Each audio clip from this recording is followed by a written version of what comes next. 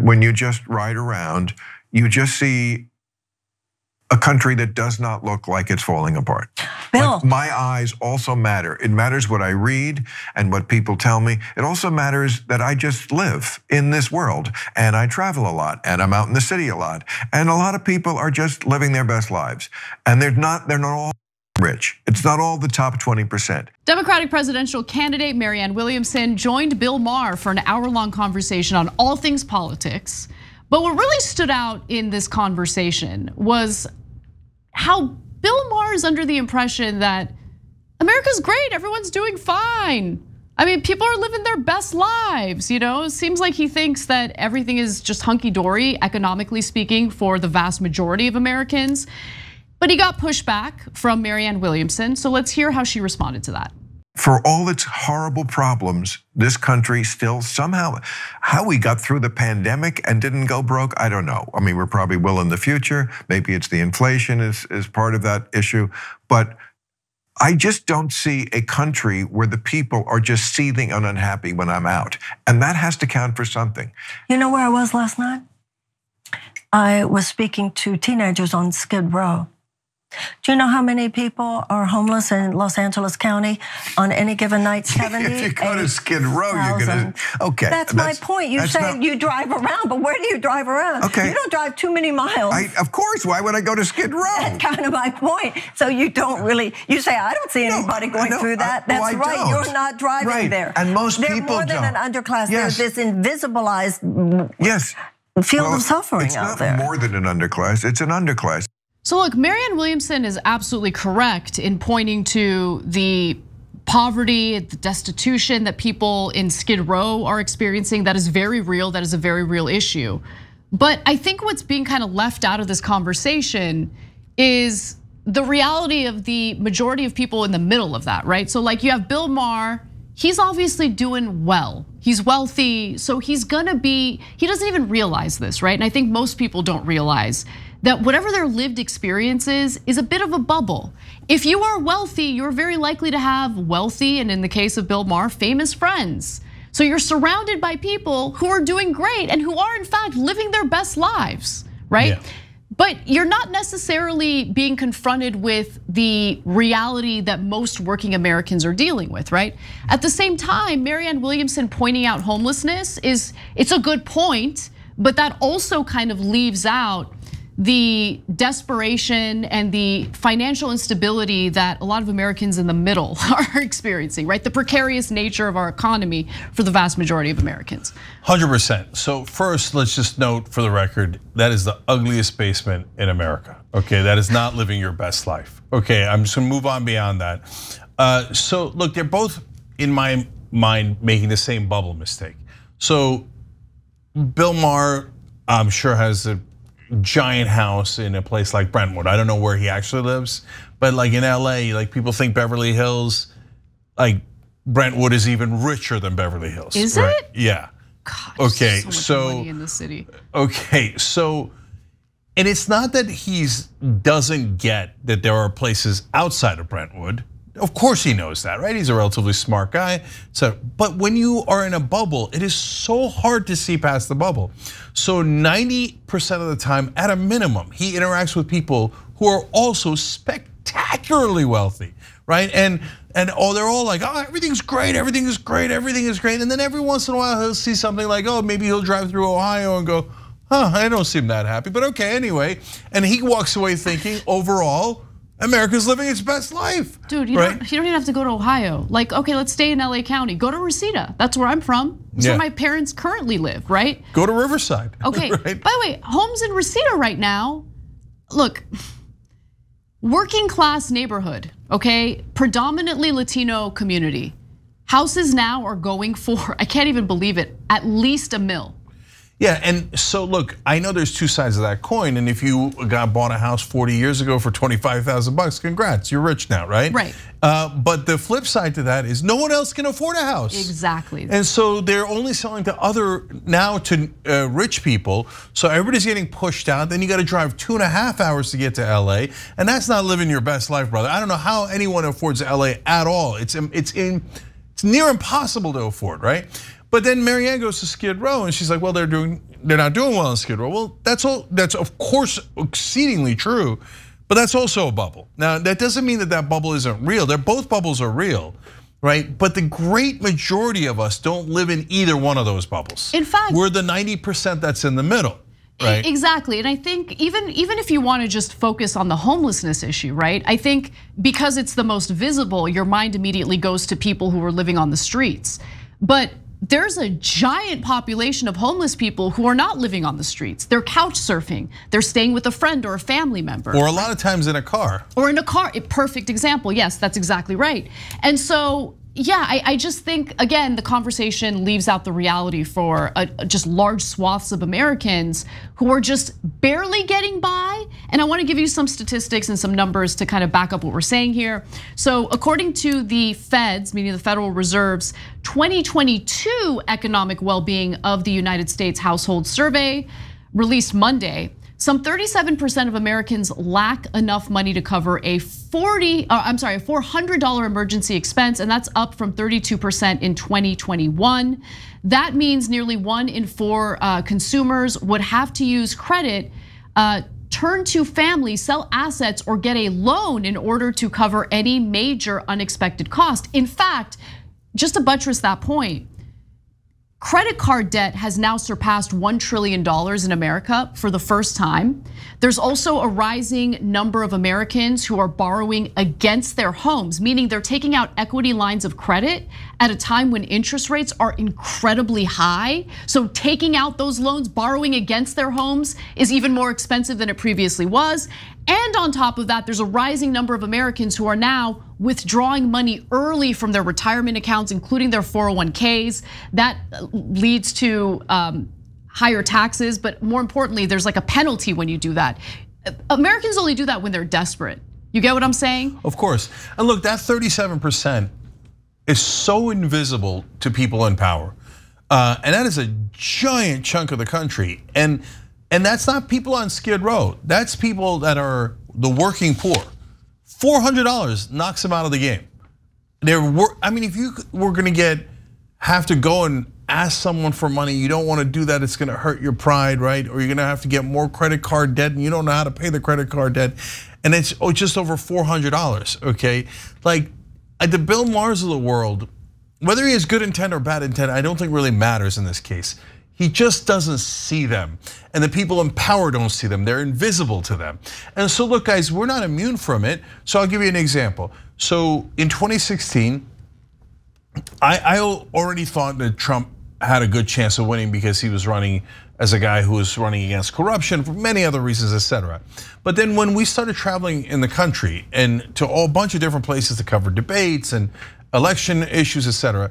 And then finally we wind up in Ohio uh, for the convention, okay? And I I wound up having half a day, which I almost never have, and I drove around Ohio and I went and stopped at a bunch of stores, etc. And I was like, oh my God, everyone here is pro-Trump. And when you live in LA, everyone was pro-Hillary, right? So it's a completely different bubble. And then I went uh, to the hotel room, I did a live video, and I was like, nah, that's it, he's gonna win. And, and then I went on ABC's this week and predicted that he would win mm -hmm. because the people on the coast, especially the people in power in New York and DC, they can't see straight. They never see the middle class, never, ever, ever. And they're always like, they'll see polls that show that the American people despise the establishment and the elites. Yeah. And they're like, no, no, they don't. No way, no way. Everybody I know loves the media. Everyone I know respects these politicians and kisses their ass 24 7. In Washington, the bubble is the thickest out of all of the cities.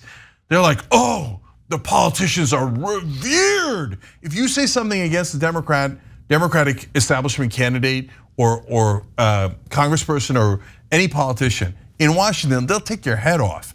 They think that is the biggest crime in America. Whereas if you go to anywhere else in the country, they hate the politicians. They hate them. So that's what's leading to this disconnect.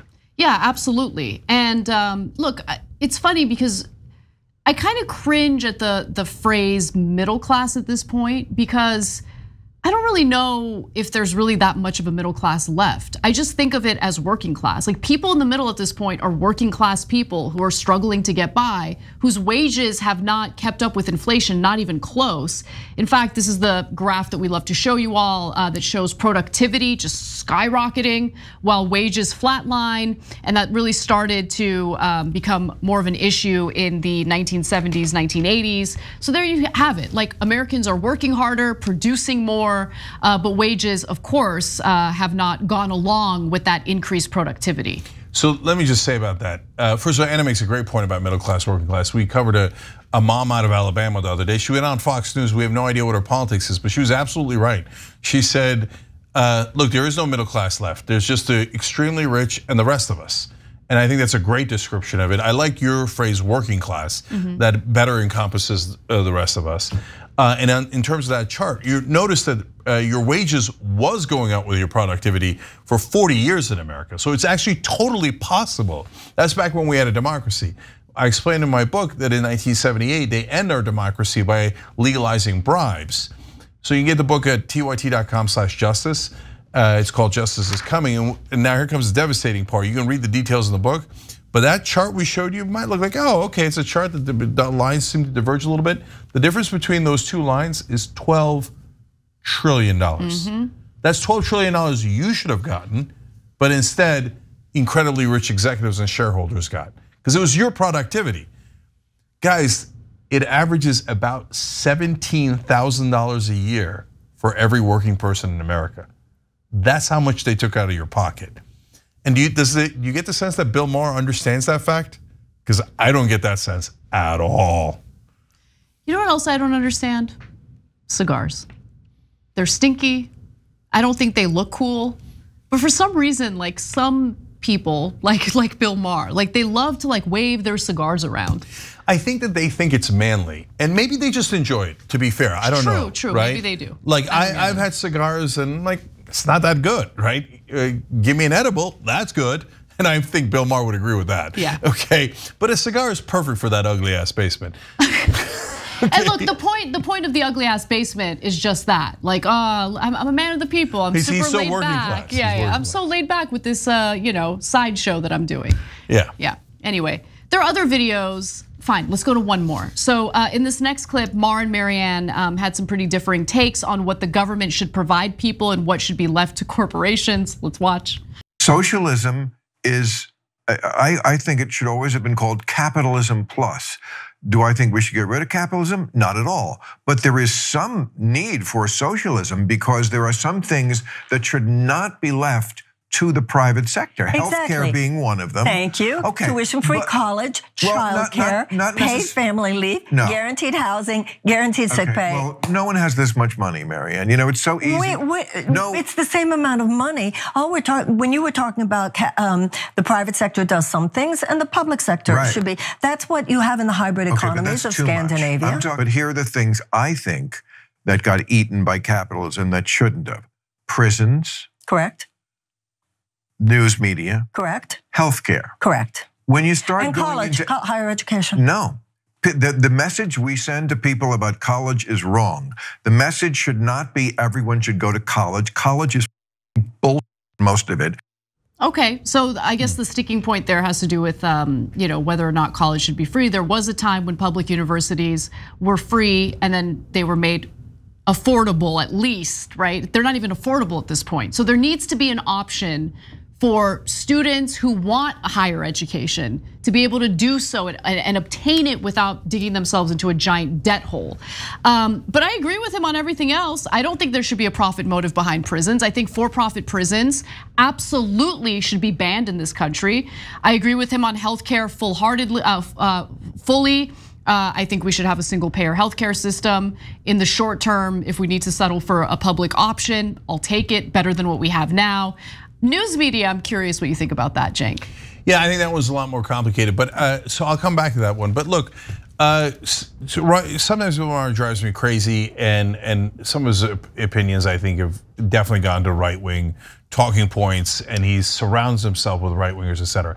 Now, having said that, this one is a perfectly reasonable disagreement, mm. and he's largely uh, on the left here, right? So he's saying we shouldn't have private prisons, et cetera. Those are exactly right. And he he says we shouldn't have private health insurance. That's a big thing for a mainstream media guy to say. True. So just because we don't, we don't agree with him on on college here, we don't have to you know, chop his head off on it. I'm not going to throw the baby out with the bathwater. Yeah, don't throw out Bill Maher with the bathwater. There are other, but seriously, there are other things that I think are he's much more right wing on, and he drives me crazy. And I'm happy to throw him out with the bathwater on those. But here, this is a good discussion. Okay, fair show in America. Okay, so as much as I'm annoyed by him and he's super smug and condescending, this is a good, healthy discussion about where does where's the line, right? So we agree with where the line is in some ways. And right now, by the way, Washington does not agree. So both Marianne and Bill are to the left of Washington on all of those issues. Now, I'm, I agree with Marianne. I think college should be free. And I've talked about it before. My dad got a free college education, went from a poor farmer to a mechanical engineer, and then to a business owner. It's not just a moral thing to do, it's a smart thing to do. It helps the economy, creates small businesses, etc. So I think he's wrong, and I'm happy to debate him on that. But I don't think he's toxic or anything like that for having that opinion. We just disagree. It's and and I'm and I'm glad that they're hashing it out. Mm -hmm. So that's a positive part of the show. I uh, I'm here for it. And Marianne, by the way, a wonderful progressive and running for president, and I think she's 10,000 times more uh, progressive than Joe Biden. And there she's making a really good case. And then later they talked about, hey, you know, why is everybody, she said, why is everybody putting RFK Jr. on like Rogan is, CNN is, et cetera, and they never put me on? I think that's a super fair point. RFK Jr. is running in the Democratic primary, but largely a Republican, in my opinion. Marianne Williamson, you know, at this point, the representative for progressives. I mean, I wish it was different. I wish we had a whole bunch of progressives in there. Nothing against Marianne. I think she's doing a wonderful job. But right now, the sole representative and she can't get anywhere uh, else on, on media, and I think that's an outrage. But give credit where credit is to Bill Maher, who had her on. Yeah, no, totally. I totally agree with that. Thanks for watching The Young Turks. Really appreciate it. Another way to show support is through YouTube memberships. You'll get to interact with us more. There's live chat emojis, badges. You've got emojis of me, Ana, John, JR. So those are super fun. But you also get playback of our exclusive member only shows and specials right after they air. So all of that, all you gotta do is click that join button right underneath the video. Thank you.